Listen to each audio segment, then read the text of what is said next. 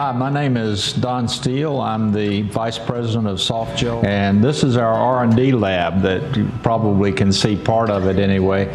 I spend a lot of time in this R&D lab because I do a lot of work on new formulas and I do a lot of work on uh, production activities and production processes as well.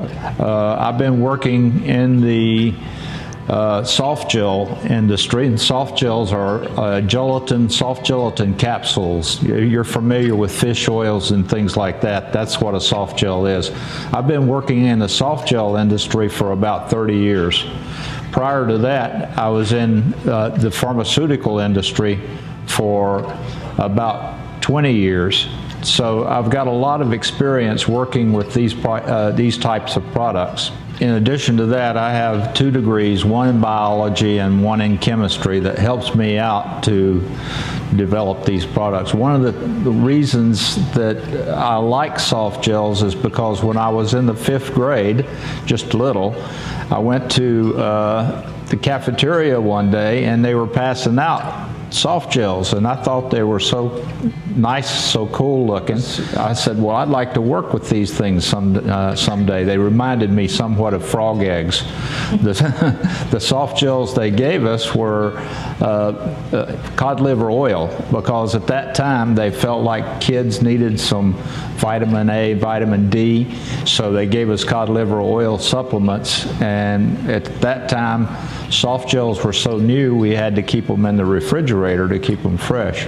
But anyway, I won't spend a lot of time talking about that. Uh, what I'd like to talk to you today about is a, a product that we're really proud of. It's a fantastic product and it's known as Q-Best. These are two brochures. One, one brochure just explains the Q-Best. The other one explains a lot of the testing and a lot of the clinical work that was done on the, the formula. But before I get that far, I'll go on into uh, CoQ10. Uh, CoQ10, in case you're not aware of what it is, its a common name is co coenzyme Q10.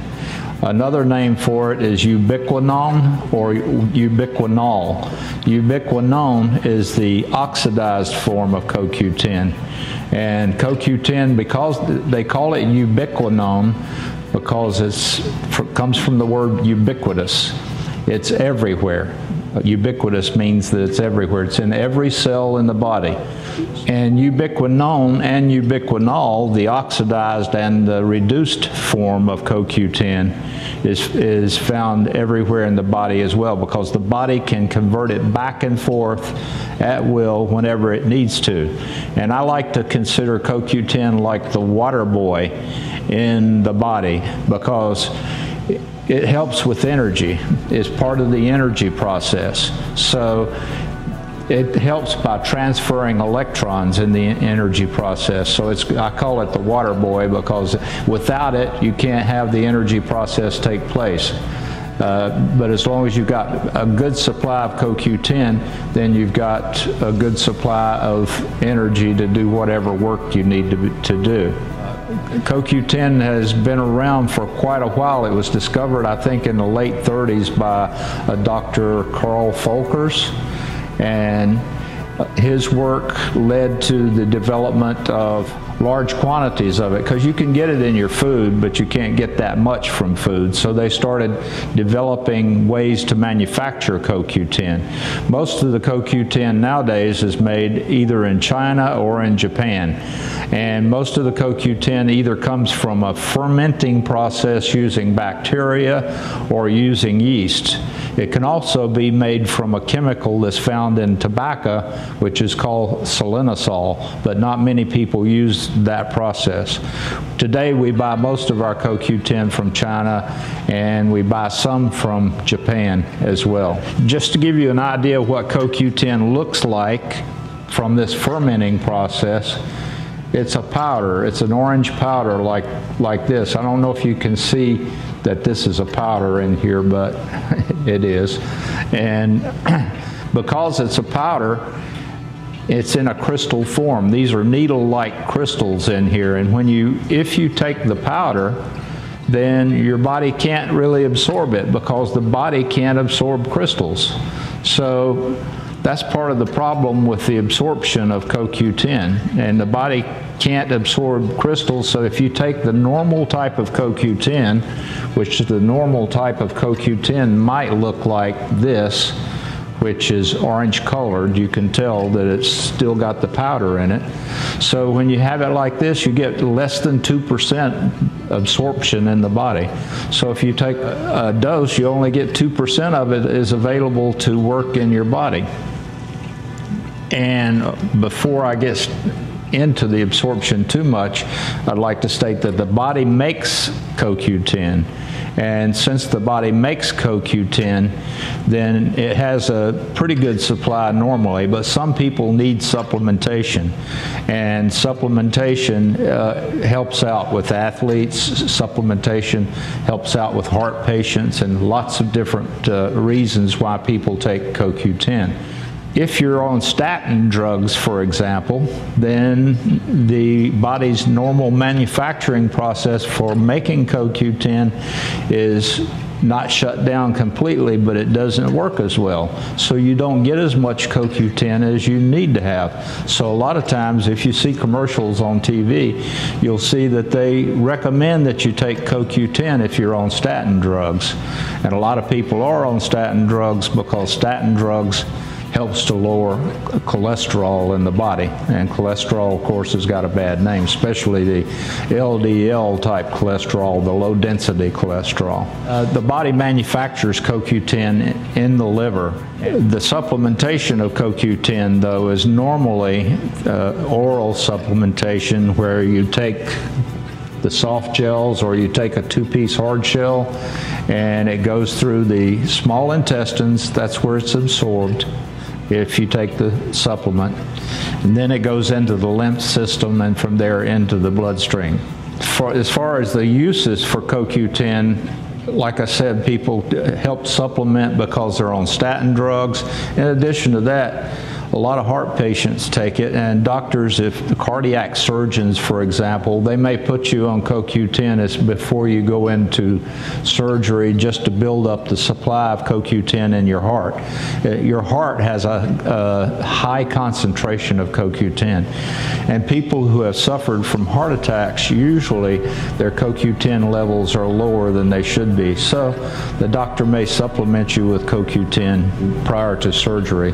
Also, heart patients in, in general or people that have heart failure, maybe they need to be taking CoQ10 as well.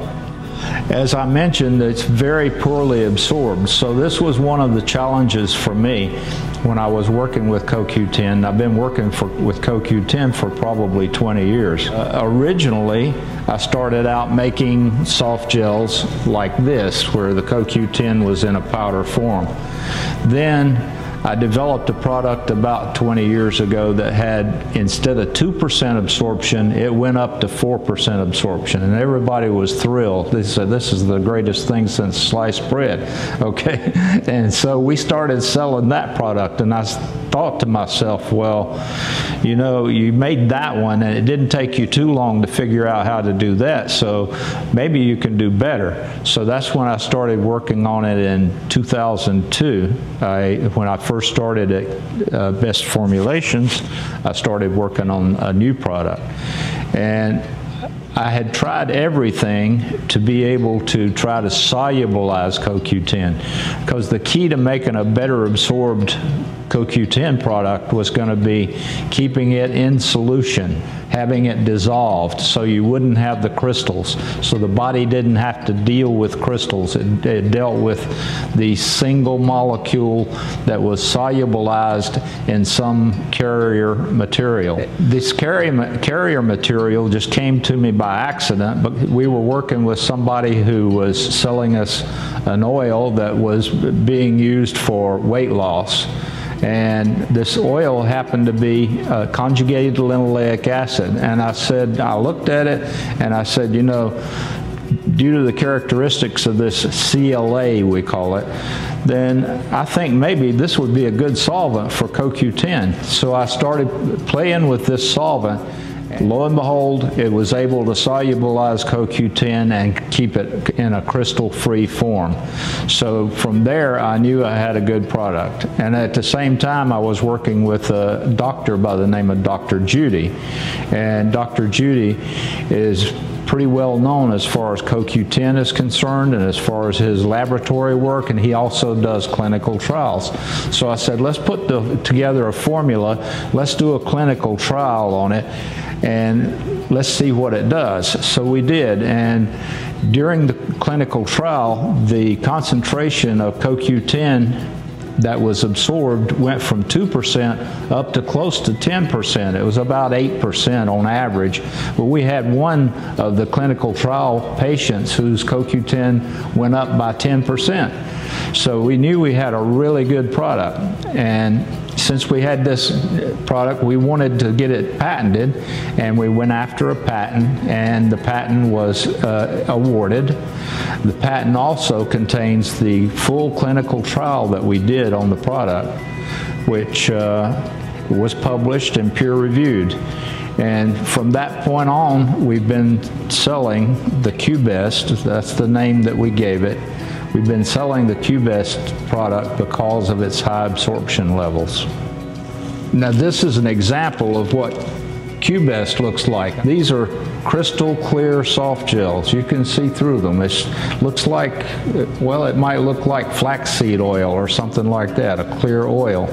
But in reality, each one of these soft gels has 50 milligrams of CoQ10 dissolved in CLA conjugated linoleic acid. In addition to that, it has flaxseed oil in it. Flaxseed oil is a really good supplement to take as well.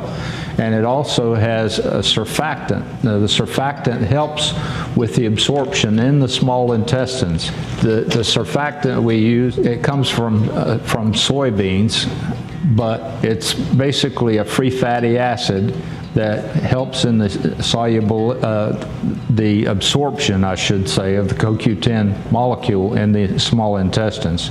Since we were able to do this, Dr. Judy has done quite a bit of work with CoQ10 as well, and he's really thrilled about the product and he's working with it uh, in addition to the work that I'm doing. One of the things that he does, which is very interesting, is he gives this product to uh, children usually little kids that their bodies can't manufacture CoQ10. There's only a small number of people born that way in the world. But people who have this disease where their bodies can't manufacture CoQ10, if they don't get supplementation, then they die. And this form of CoQ10, to my knowledge, is the only CoQ10 that's being given to those children today and it helps them to stay alive and it helps them to stay healthy. Now, I've talked about the advantages and the fact that you can get up to 8% absorption. So I was thinking along those lines, it's good to have a, a, higher level of CoQ10 in the body because it gives you more energy. We gave this product to athletes, for example, and they were able to perform better. One year we gave it to the decathlon winner uh, in the Olympics. Now, it was a different formula from this, but he won the decathlon in the Olympics and he was taking this supplement.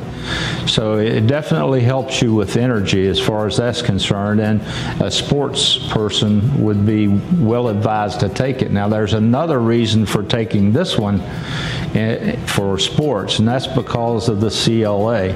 CLA is another patented material that helps to build lean body mass, and lean body mass is muscle. In addition to CoQ10, you have the advantage of something that helps you to build lean body mass. One of my favorite stories is a story about a little baby that we know and it's friends of ours from Westlake Village, California. They had a baby, and the baby had, baby had a defective heart. So it needed to have a heart transplant. But they were worried that it wouldn't be able to survive long enough to get a new heart. So they took the baby to Boston Children's Hospital, and the baby was in, of course, whatever they have for intensive care for little babies. But we sent the information about this Q-Best formula to the doctor that was uh, in charge of this baby. And uh, we told him this may help the baby to survive until it can get a new heart for a heart transplant. So the doctor looked at the formula, he looked at all the advantages that we listed for the formula, and he decided that he would be able to uh, use this product in the hospital and give it to the baby through the baby's feeding tube because the baby wasn't old enough to really be able to, to eat solid foods. So for a year period of time, this was the only compound, by the way, that this hospital would allow to come in to be given to their patients. So he gave it to this baby, and it took about a year before the baby was able to get a heart available for the heart transplant. The baby got the heart transplant and the baby is surviving today because of this.